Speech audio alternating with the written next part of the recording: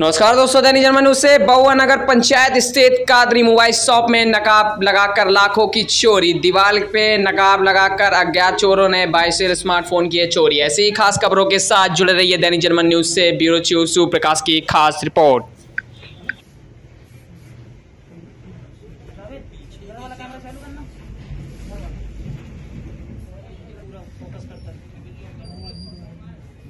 चलो बाहर चलो, अंदर ना सब लोग।